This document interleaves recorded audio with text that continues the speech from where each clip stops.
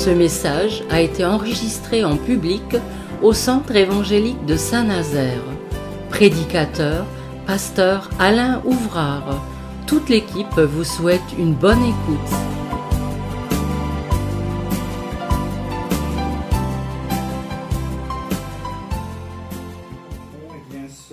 Eh passage.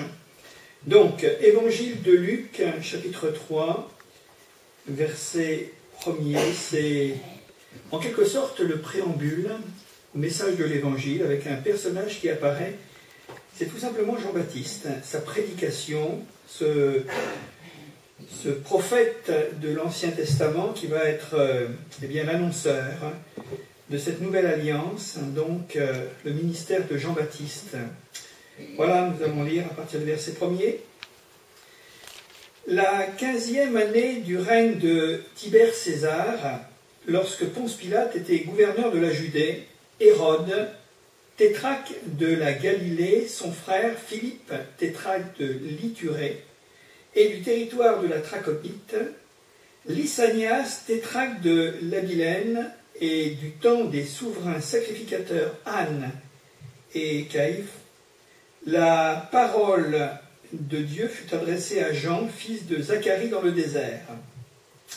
Et il alla dans tout le pays des environs du Jourdain, prêchant le baptême de repentance à cause du pardon des péchés, selon ce qui est écrit dans le livre des paroles d'Ésaïe le prophète. C'est la voix de celui qui crie dans le désert, Préparez le chemin du Seigneur, aplanissez ses sentiers, toute vallée sera comblée, toute montagne et toute colline seront abaissées, ce qui est tortueux sera redressé, et les chemins raboteux seront aplanis, et toute chair verra le salut de Dieu.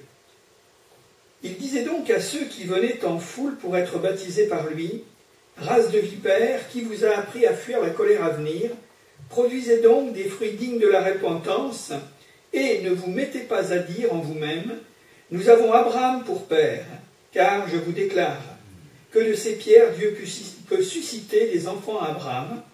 Déjà même la cognée est mise à la racine des arbres, tout arbre donc qui ne produit pas de bons fruits sera coupé et jeté au feu. La foule l'interrogeait disant Que devons-nous faire? Que devons donc faire? Et il répondit, il leur répondit que celui qui a deux tuniques partage avec celui qui n'en a point, et que celui qui a de quoi manger agisse de même. Il vint aussi des publicains pour être baptisés, et ils lui dirent Maître, que devons-nous faire? Ils leur répondirent il leur répondit N'exigez rien au-delà de ce qui vous a été ordonné. Des soldats aussi lui demandèrent Et nous, que devons-nous faire? Il leur répondit Ne commettez ni extorsion ni fraude envers personne et contentez-vous de votre solde. Comme le peuple était dans l'attente et que tous se demandaient en eux-mêmes si Jean n'était pas le Christ, il leur dit à tous Moi, je vous baptise d'eau. Mais il vient celui qui est plus puissant que moi, je ne suis pas digne de délier la courroie de ses souliers. Lui, il vous baptisera du Saint-Esprit et de feu. Il a son, son vent à la main, il nettoiera son air, et il amassera le blé dans son grenier, mais il brûlera la paille dans un feu qui ne s'éteint point. Voilà pour euh, la situation de notre réflexion ce soir. Et j'aimerais m'intéresser à ces quelques versets où il est dit c'est la voix de celui qui crie dans le désert. Je le relis. Préparez le chemin du Seigneur avec euh, ses particularités. Aplacissez ses sentiers et toute vallée sera comblée. Toute montagne et toute colline seront abaissées. Ce qui est tortueux sera redressé et les chemins raboteux seront aplanis. C'est surtout particulièrement sur euh, ces quelques mots que j'aimerais donc euh, commenter et nous puissions porter notre réflexion. Dans les premiers versets, il s'agit tout simplement de l'authenticité historique vérifiée, tout simplement, et pour nous montrer que Luc était véritablement un historien. Hein, il a été historien en parlant dans le langage qu'il tient dans son évangile, son propre évangile, et c'est lui qui sera aussi euh, l'écrivain du livre des actes, puisque le livre des actes, le livre des actions des apôtres, c'est tout simplement le livre d'histoire de l'Église primitive, de la première Église en quelque sorte. Donc nous avons affaire à quelqu'un qui nous rapporte des choses qui sont bien cadrées dans l'histoire, dans le temps, avec les événements, en parlant de finalement l'empereur qui était à Rome, Tibère, et puis tous ces petits rois de Palestine, ou en tous les cas qui régnaient sur le territoire ou sur le, peuple d'Israël, hein, euh, que l'on appelait des tétrarques, qui n'étaient que finalement des petits roitelets, hein, ce n'étaient pas des rois. Mais toujours est-il que des seigneurs avec euh, leur petit domaine, leur région, et ça faisait beaucoup d'histoire d'ailleurs. Hein. Quand on connaît un petit peu les rivalités de toute cette dynastie des Hérodes, un frère ou demi-frère et tout ce que vous voulez, euh, ça a été véritablement très compliqué.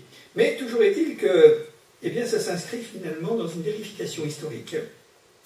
Et nous voyons qu'il nous est parlé de l'apparition de Jean-Baptiste, qui était le dernier des prophètes de l'Ancien Testament.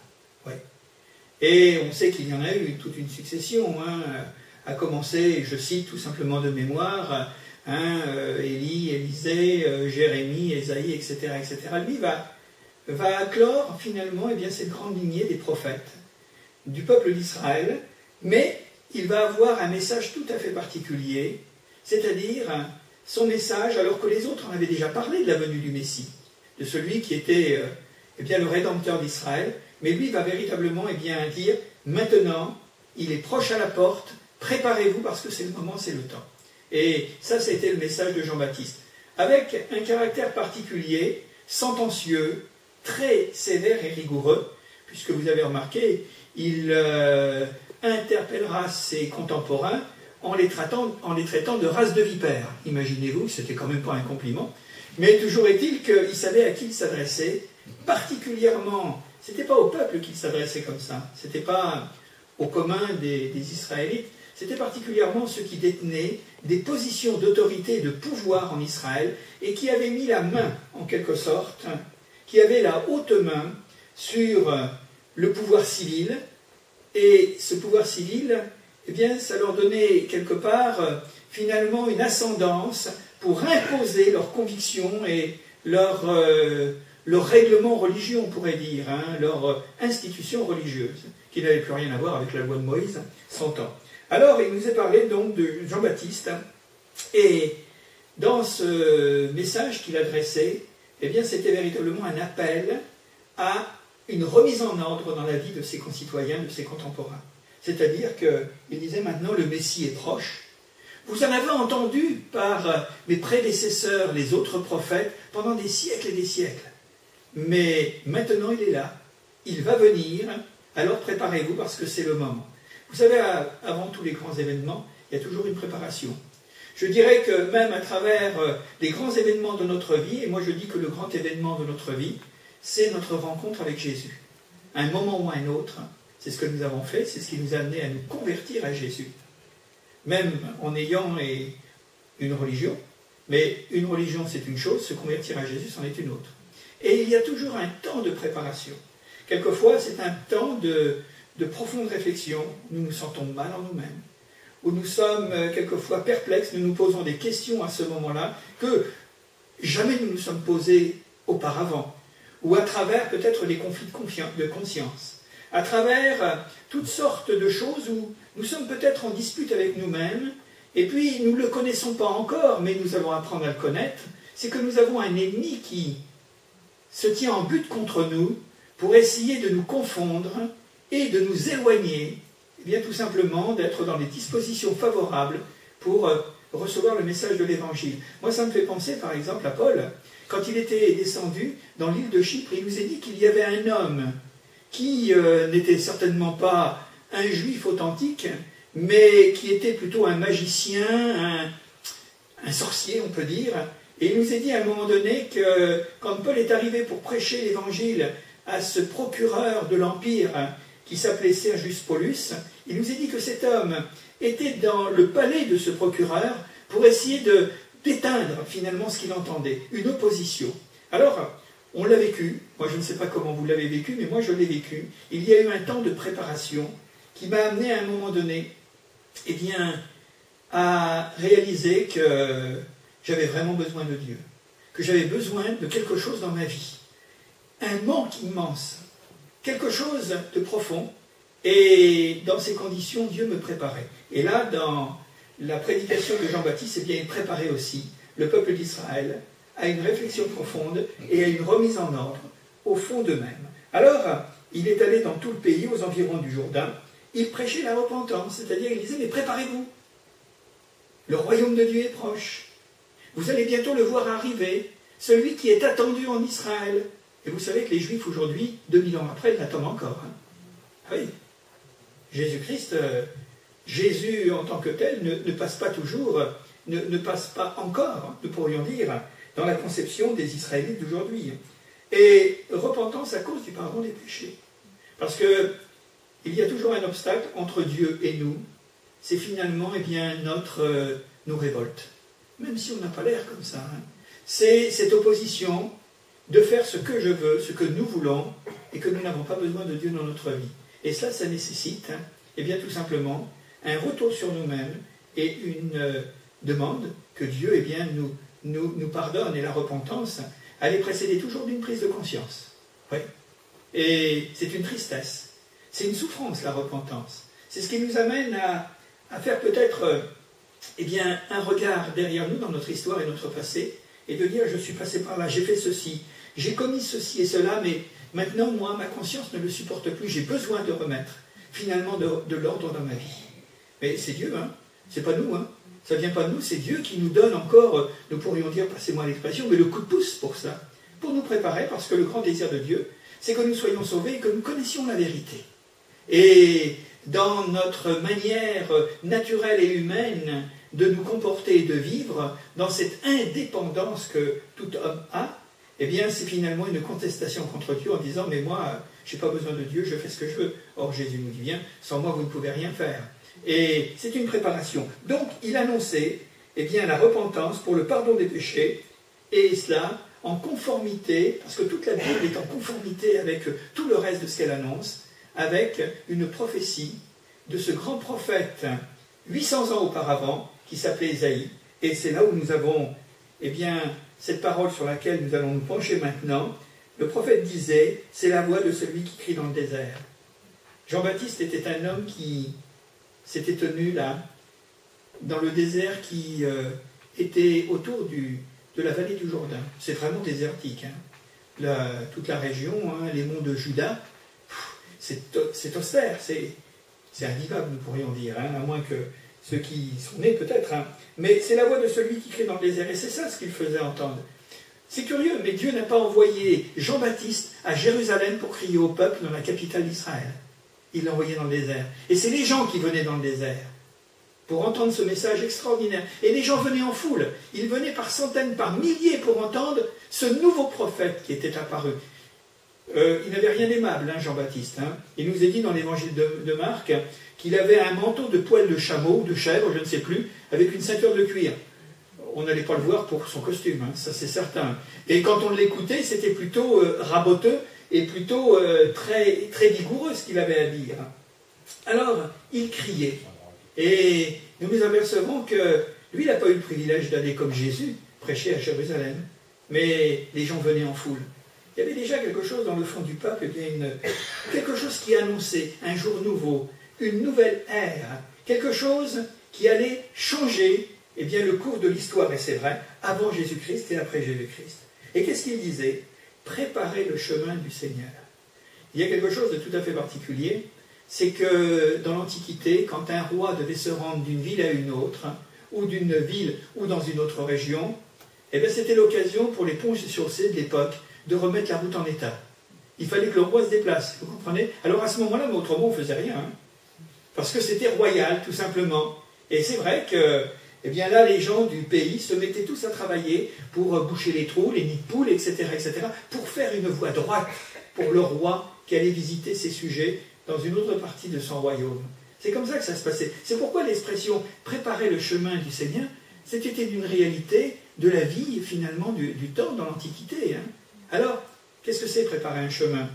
C'est de faire en sorte que, bien, comme nous allons le voir, que les trous soient bouchés, que toutes les aspérités et tous les, effondrements sur les bas-côtés puissent être relevés pour que cette route soit confortable et qu'elle nous mène eh bien, à destination. Préparez le chemin du Seigneur et aplanissez ses sentiers.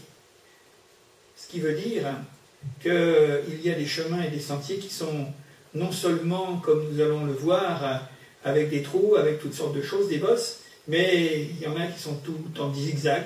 Alors, c'était remettre en état tout cela. Mais quand il s'agit de, de chemin et des sentiers, c'est le chemin des cœurs, des consciences et au niveau des individus, naturellement. Alors, la première chose qui nous est donnée, c'est qu'il nous est dit toute vallée sera exaucée. Exaucée, voilà exactement le mot. C'est-à-dire que tout ce qui est creux, tout ce qui est en effondrement, tout ce qui est en ravine en quelque sorte, eh bien soit comblé, pour qu'il n'y ait pas de, de dénivellation, vous comprenez hein, euh, Nous, nous vivons dans un pays où les routes sont quand même relativement bien entretenues, sauf dans certaines euh, rues de, nos villes. Mais autrement, c'est vrai, quand vous êtes sur l'autoroute, c'est très confortable. Euh, j'ai eu l'occasion d'aller dans les pays de l'Est hein, il y a quelques années. Je peux vous dire que les routes, il y a plus de trous, de nids de poules dans les, dans les routes qu'autre chose. Et les Roumains avaient l'habitude de suivre la route, de passer dans le champ parce que c'était plus confortable dans le champ que sur la route.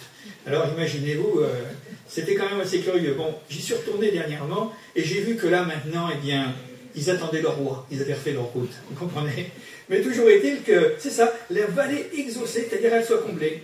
Et cette vallée représente tout simplement ce qui n'atteint pas le niveau voulu.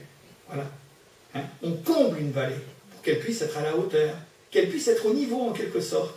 Et dans la vie morale et dans la vie spirituelle, dans la vie des hommes, eh il y a quelquefois des, des vallées profondes, obscures, ténébreuses.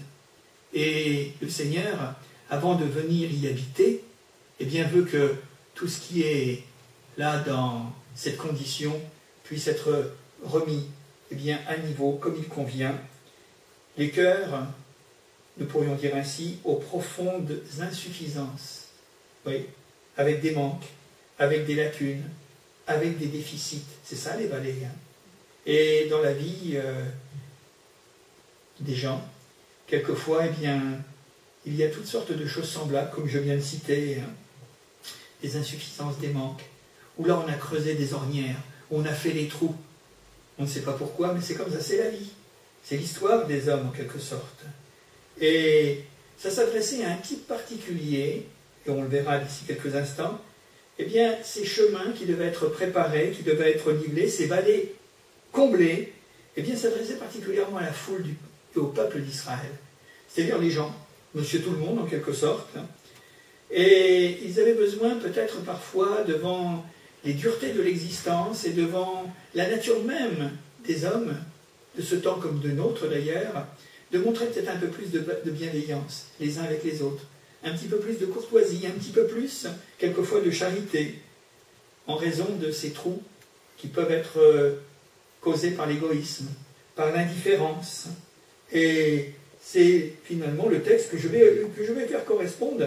Il nous est dit que la foule l'interrogeait, interrogeait Jean-Baptiste, disant Mais que devons-nous donc faire? Et Jean-Baptiste leur répondit Que celui qui a deux tuniques partage avec celui qui n'en a point, et que celui qui a de quoi manger agisse de même. Voilà, ça c'était des vallées. Des vallées qui devaient être comblées, c'est-à-dire de la solidarité, de la compréhension pour son semblable, de l'entraide. On peut dire beaucoup de choses autour de cela, puisqu'il nous est parlé de deux tuniques, et bien tu partages pour faire la guerre à l'égoïsme, par exemple. Et puis, euh, celui qui a de quoi, eh bien qu'il donne à celui qui n'a pas. Voilà, c'est donc euh, ces vallées. Et je crois que aujourd'hui, ce serait tout à fait approprié pour notre monde, hein, où on est vraiment dans un monde perso, dans un monde d'égoïsme, dans un monde, comment pourrait-on dire, où on fait cavalier seul, même s'il y a quelquefois de grandes actions comme ça, euh, mais néanmoins, on voit que de plus en plus, on va vers l'individualisme.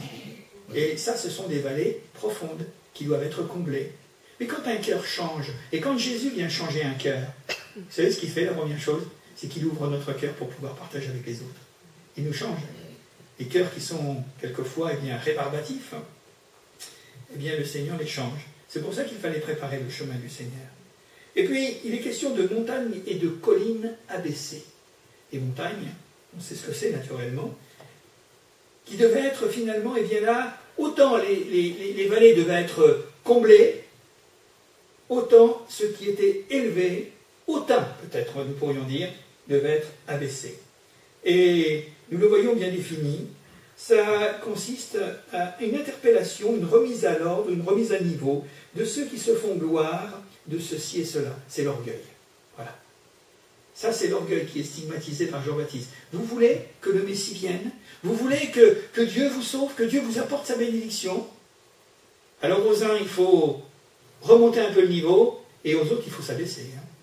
Et on sait très bien que c'est le message principal de l'Évangile, que, comme Jésus le dira, celui qui s'élèvera sera baissé, celui qui s'abaisse sera élevé naturellement. Et des cœurs qui s'enflent, qui s'élèvent, particulièrement l'orgueil. Et c'est ce qui nous est dit au verset 7 par exemple.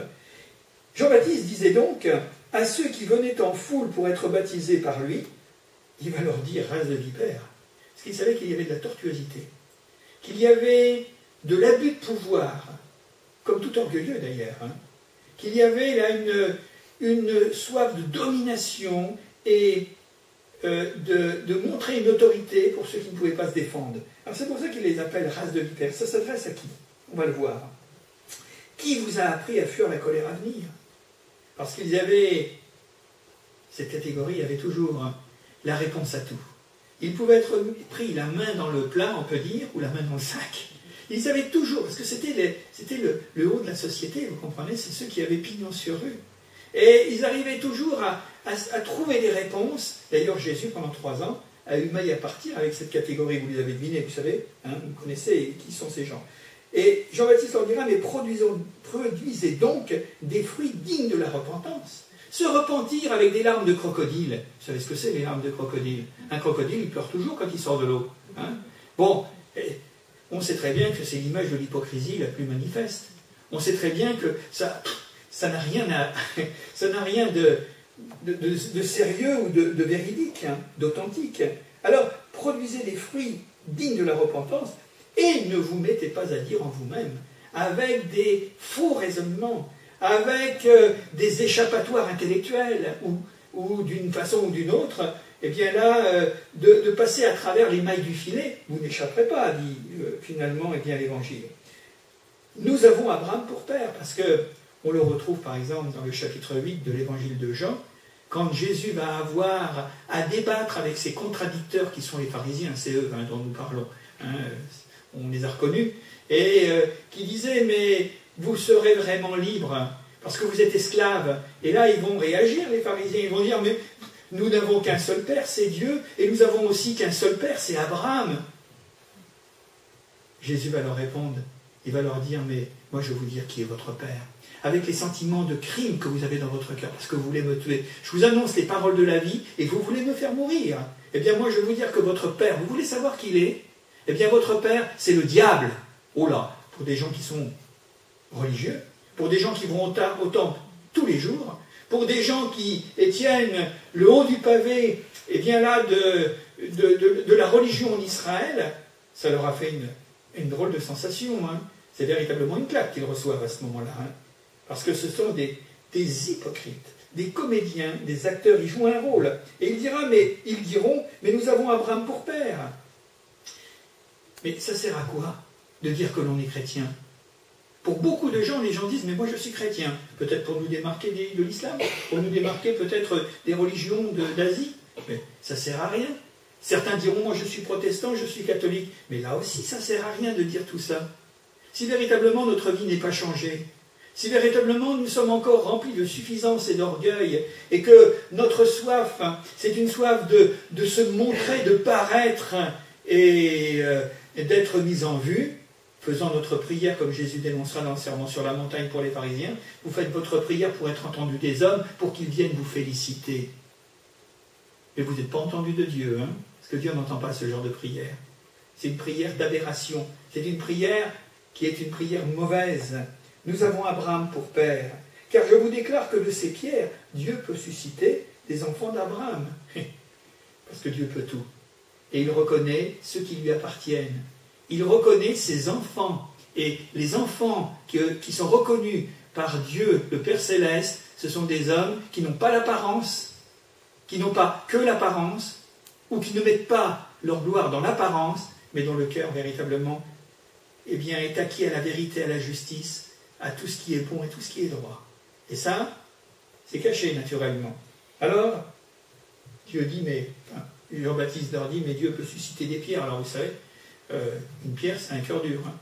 C'est un cœur dit dur, naturellement. Déjà même la cognée est mise à la racine des arbres, toute arme donc qui ne produit pas de bons fruits sera coupée et jetée au feu. C'est euh, tout simplement une image que Jean-Baptiste prend en disant mais mettez-vous en règle. Parce que n'allez pas vous dire, n'allez pas vous persuader que vous êtes ceci, que vous êtes cela, que vous avez telle position, que vous avez telle réputation, et que ça, ça va suffire. Il leur dit attendez, hein, le moment est imminent. Il vient le Messie. Il vient celui qui va juger le monde. Il vient celui qui est venu avant tout pour sauver, avant de juger. Mais si vous ne voulez pas être sauvé, eh il ne vous restera plus qu'une une, une situation, une solution. C'est qu'à ce moment-là, si vous ne voulez pas être sauvé, vous serez jugé et condamné. Il faut savoir ce que l'on veut. Est-ce que Jésus, nous le voulons comme sauveur ou nous le voulons comme juge? Tout simplement. Maintenant, c'est les cœurs qui déterminent. Vallée exaucée, montagne et collines abaissées, et voilà la troisième proposition, ce qui est tortueux.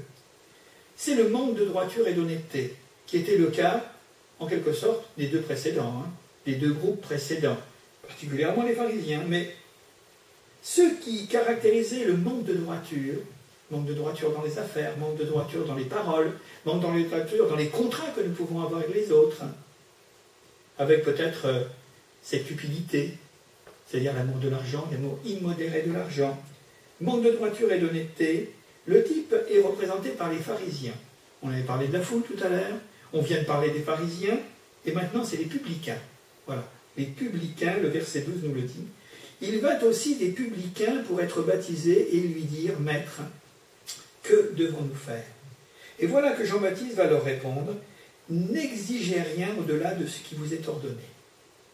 C'est-à-dire que cette catégorie en Israël, donc les publicains, n'étaient pas des gens religieux. On pourrait dire que c'était vraiment des laïcs, que c'était des gens d'affaires, des commerçants, des gens, des trafiquants, de ceux qui vivaient pour tout simplement eh bien, bien vivre. Il n'y a rien de mal dans cela. Mais ce, qu'ils qui ajoutait à leur cas, c'est qu'ils s'enrichissaient très souvent eh bien, d'une manière qui n'était pas toujours très claire, très honnête. Mais il y a eu quand même des publicains qui se sont convertis. Hein. Vous pouvez me dire, par exemple, Zachée. Zachée, on pourra dire tout ce qu'on veut, même si c'était un percepteur d'impôts, hein, qui travaillait pour le. Il était collaborateur pour les Romains, vous vous rendez compte? Ben, Je peux vous dire que dans son pays, il ne passait pas pour. Euh, hein, euh, naturellement, mais Dieu l'a vu. Hein. il lui a dit euh, Mais moi, tu sais, aujourd'hui même, je veux demeurer dans ta maison. Il était certainement Hein, euh, voilà, c'est Jésus qui l'a choisi, choisi parce qu'il avait vu que même dans cette catégorie, dans cette classe de société, il y avait des gens qui aspiraient à quelque chose d'autre que ce consommable de tous les jours, que de s'enrichir, etc., etc. Il dira même, à un moment donné, ce qui a fait certainement crier tous ceux qu'il connaissait comme pharisiens, comme, euh, comme publicains, pardon, hein, euh, quand j'ai trompé, trompé quelqu'un ou quand je me suis trompé sur le compte de quelqu'un, euh, je lui rends quatre fois, ce qui lui a été pris, indûment, naturellement. Donc les publicains. Les publicains, dans leurs affaires, exigeaient plus d'argent qu'ils ne devaient en percevoir, et le reste, ils se mettaient dans la poche. Les petites combines, les petites accommodations. Vous savez que, pour un compte, dans la société dans laquelle on est aujourd'hui, dans notre pays, on n'a jamais entendu parler autant d'histoires d'argent, de trafic, de fraude, etc., etc. Je crois qu'en ce moment, les milliards sont en train de rentrer parce que on va les chercher là où ils doivent aller, parce que c'est normal. Tout homme honnête doit faire ce que la loi lui prescrit, mais bon, ce n'est pas les pauvres hein, qui sont recherchés, je peux vous le dire. Ce n'est pas avec 50 centimes d'euros dans notre poche qu'on va nous mettre en examen. Mais toujours est-il que quand on voit tous les paradis fiscaux, quand on voit un petit peu les détournements, mais depuis des années, des années, hein, ça, existe. Et ben oui, mais vous savez, quand on est chrétien, quand on veut devenir chrétien, quand on se prépare à répondre à l'appel du Seigneur, il faut, faut avoir de la droiture de cœur. Ouais, c'est pas possible Et on l'a vu hein, dans les conversions, on a eu des, hommes et des femmes qui se sont convertis à Jésus-Christ, qui ont intégré l'Église de Jésus-Christ, et qui, à partir de, au moment où ils ont rendu témoignage, ils ont dit, moi, je me suis enrichi en trompant les autres.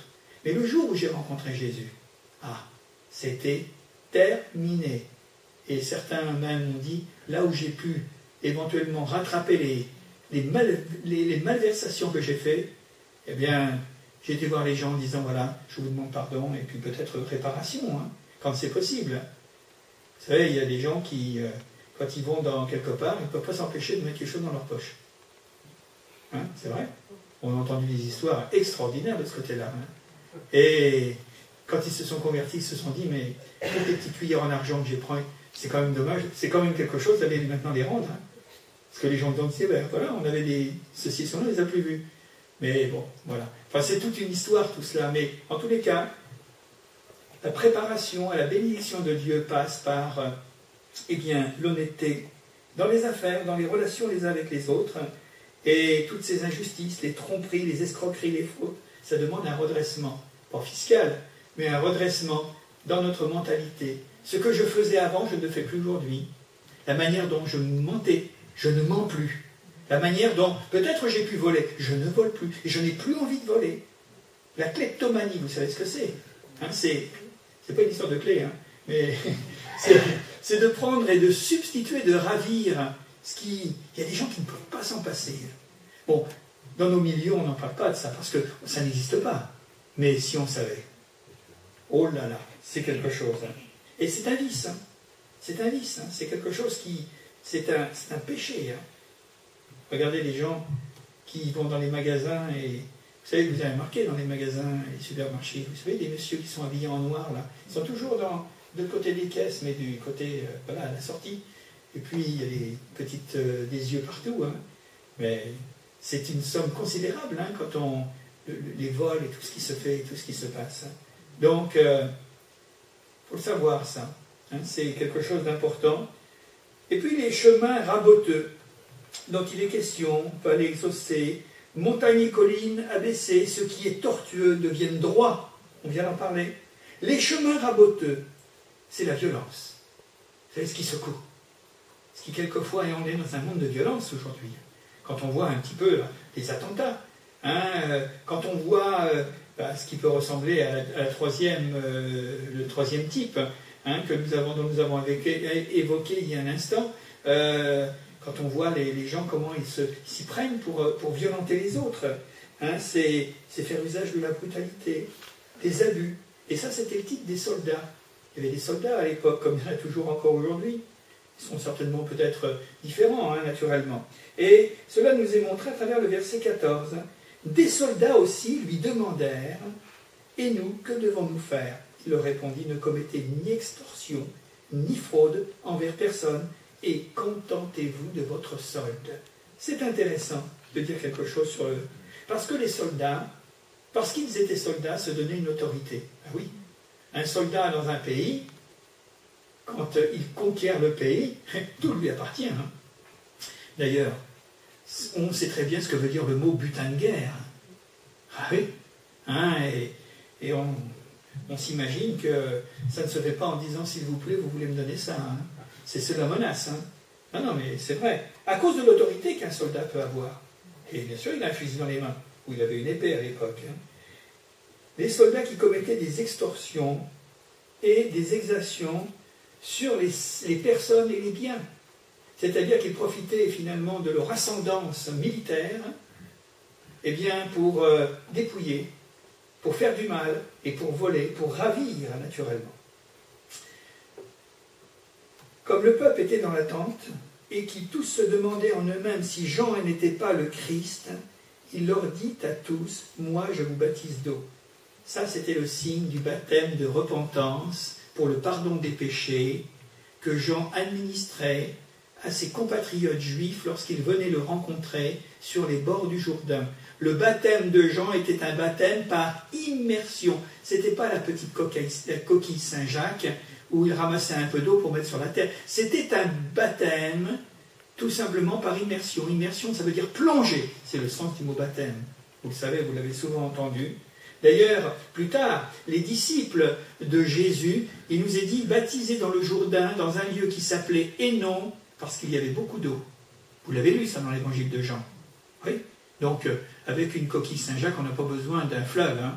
On a besoin de quelques gouttes, c'est tout. Mais s'il baptisait, c'est qu'il était trempé dans l'eau. Voilà, comme nous le faisons encore aujourd'hui, naturellement. Baptême par immersion et adulte. Vous avez remarqué, il n'y avait pas d'enfants. Hein. Il n'avait pas dit que des, hommes, des femmes et des enfants. C'était des hommes. Parce que le langage n'aurait pas eu sa raison d'être. Hein. un enfant, euh, l'orgueil, un enfant, euh, hein, les extorsions et tout ça. Non, un enfant, il reste encore un enfant et, c'est encore un être innocent quelque part. Donc il n'y avait pas lieu de prêcher un, message de repentance. Donc c'est bien adulte. Mais il vient, celui qui est plus puissant que moi, dit Jean-Baptiste, et je ne suis pas digne de délier la courroie de ses souliers. Voilà Jean-Baptiste, l'homme humble et l'homme soumis. Il remplit sa mission, et d'ailleurs, il le dira d'une manière admirable, et ça c'est un des, un des textes que j'aime le plus dans la Bible, dans le Nouveau Testament. Jean-Baptiste dira, c'est toujours dans l'évangile de Jean, il dira, il faut qu'il croisse en parlant de Jésus et que moi je diminue. C'était pas facile pour Jean-Baptiste. Imaginez-vous. Vous avez remarqué que Jean-Baptiste n'a fait aucun miracle. Hein il prêchait tout simplement. Que Jean-Baptiste a vu des choses extraordinaires, voir des milliers et des milliers de gens venir autour de lui, et à un moment donné, de voir que tous ces gens qu'il avait baptisés ne vont plus le suivre lui, mais vont suivre Jésus. Et c'était le but. Il préparait le chemin. Et aujourd'hui, il y a toujours une préparation dans la vie des hommes, finalement, eh bien, pour euh, aller plus loin encore, et aller toujours plus loin, c'est suivre aussi Jésus. C'est pas rester à un Jean-Baptiste, à un homme, à une religion. Moi, j'ai toujours l'habitude, quelquefois, quand je présente mon témoignage, de dire Eh bien, l'Église catholique dont je suis issu m'a donné en préparation la crainte de Dieu. Dieu existe. Et de le craindre, de le respecter. De. Voilà, de savoir qu'il existe, tout simplement. Quand je suis arrivé dans l'église réformée en Amsterdam, les protestants là-bas m'ont donné une Bible, une étape supplémentaire que ne m'avaient pas donné les précédents. Et j'ai commencé à lire la Bible. J'ai vécu des moments formidables avec le pasteur de l'époque, qui m'a enseigné. Dans l'évangile de Luc, on a commencé par là, et le livre de la Genèse. Ça a duré deux ans. Et puis quand je suis revenu en France, je suis arrivé dans une église évangélique. Et là, la préparation des premiers, la préparation des seconds, là, après avoir entendu le message de l'Évangile, j'ai entendu la prédication d'un Christ vivant. C'est le monde évangélique, monde protestant évangélique si vous voulez. Et c'était véritablement ma conversion. Et Dieu avait choisi ce chemin pour moi, à travers ces différentes étapes. Et ça, c'était quelque chose d'extraordinaire. Il fallait passer par toutes ces étapes. C'était mon, mon histoire. C'est mon histoire en quelque sorte. Mais c'était une préparation. Lui, il vous baptisera du Saint-Esprit et de feu. C'est ça justement la troisième histoire que je vous racontais en ce qui me concerne. Ouais, une vie transformée, une vie de feu qui purifie les péchés, qui nous nettoie, qui brûle finalement la paille et les scories. Et le Saint-Esprit, eh bien c'est un feu qui nous donne un souffle nouveau et une vie nouvelle. C'est ça le Saint-Esprit. La vie de Dieu à l'intérieur de nous-mêmes. Non pas Dieu avec nous, Dieu avec moi, mais Dieu en moi après il a son vent à la main, il nettoiera son air, c'est une image, finalement, il vient de la moisson des moissonneurs dans l'Antiquité, en Israël, et il amassera le blé dans son grenier, mais il brûlera la paille dans un feu qui ne s'éteint point. Qu'est-ce que ça veut dire? C'est le choix des hommes. Si je veux véritablement être froment ou grain ou semence, à ce moment-là, je vais m'attacher à Jésus et la vie va se renouveler parce que la vertu d'une semence, c'est de se reproduire et de multiplier après. Mais si je suis paille, alors à ce moment-là, je vais brûler. Tout simplement. C'est en conformité avec toute l'écriture. Hein. C'est tout à fait dans, dans l'ordre des choses. La conclusion. La repentance et la conversion. On a expliqué un peu ce qu'était la repentance. Une contrition, une douleur d'avoir offensé Dieu, une douleur et même peut-être une horreur ou un dégoût d'avoir fait le mal et dont nous n'avons plus envie de faire le mal. Ça, c'est le miracle de Dieu. Hein. La conversion, c'est un choix. Ce n'est pas le choix d'une religion, c'est le choix d'une personne. C'est le choix de Jésus-Christ. Je choisis Jésus parce que je sais qu'il est mort pour moi, qu'il est vivant, qu'il est ressuscité. Et cela, ça implique une remise en ordre morale. de ma vie morale, de ma vie spirituelle. Ça n'a rien à voir avec la vie, religieuse. Mais une chose qui est certaine, c'est que les choses sont en, en évolution. Et c'est un ajustement nécessaire.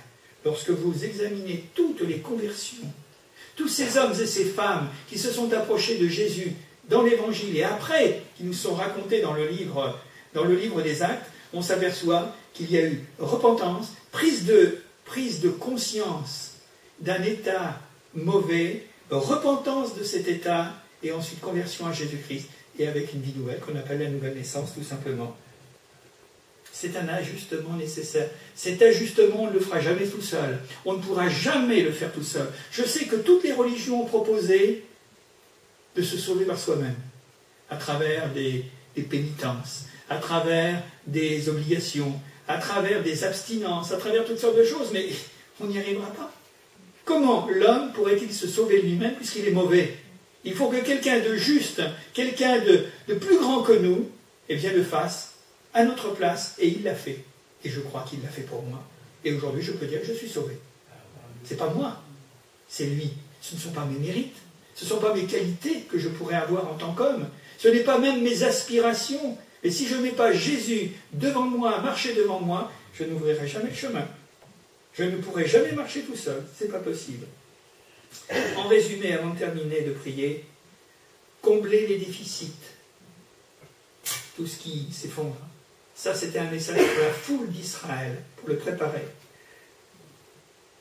Abaisser et s'humilier, c'était véritablement le cas et la proposition qui était soulignée pour les, pharisiens qui étaient des orgueilleux religieux, qui se disaient pieux, qui se disaient dévots, et qui avaient un cœur profondément mauvais et un cœur hautain. Le redressement de ce qui est tordu, ça correspondait finalement à un état moral que l'on rencontrait chez les publicains, les gens qui vivaient que pour l'argent, qui vivaient pour euh, tout simplement eh bien, sans Dieu, mais qui étaient quelquefois, eh bien, euh, souvent dans les affaires malhonnêtes, indélicats, et puis une remise à plat, finalement, de toutes les aspérités de notre vie, ça c'était les soldats. Et puis je reprends le verset 6 quand il est dit ceci, parce que je trouve que c'est la belle conclusion. Hein. Et toute chair verra le salut de Dieu. L'évangile, il est là. Le message de Jésus-Christ, il est là. Et toute chair verra le salut de Dieu. Il n'y a pas d'autre chemin. Jésus nous dit, je suis le chemin. Écoutez, parce que je vous dis la vérité. Et si vous prenez mon chemin, si vous écoutez, si vous appréhendez cette vérité que je vous propose, eh bien, vous aurez la vie, tout simplement. Et nul ne vient au Père que par moi.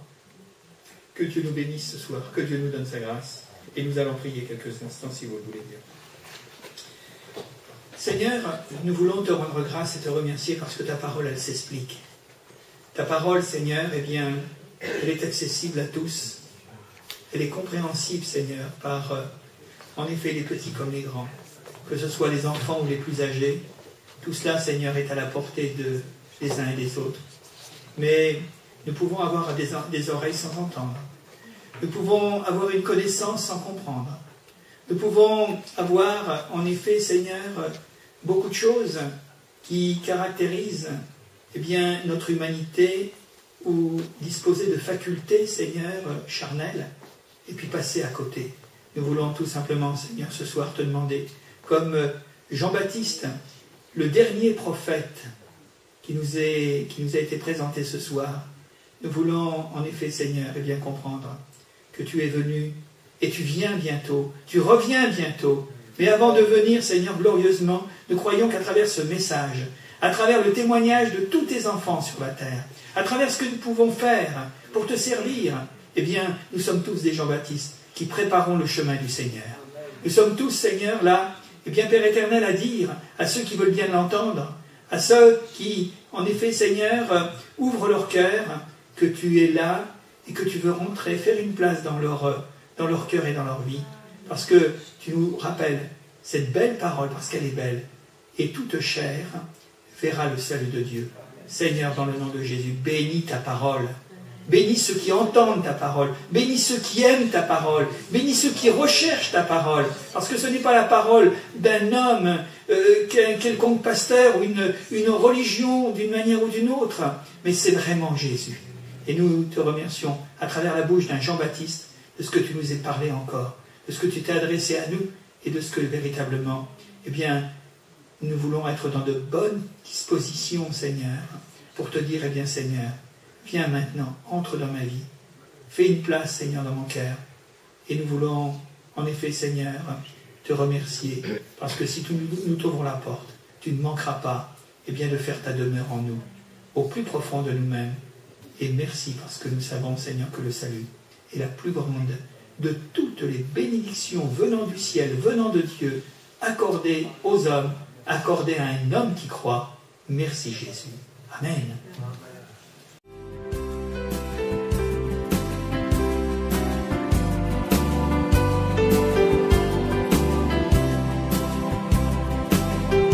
Pour écouter d'autres messages audio ou vidéo, retrouvez-nous sur www.add-saint-nazaire.fr.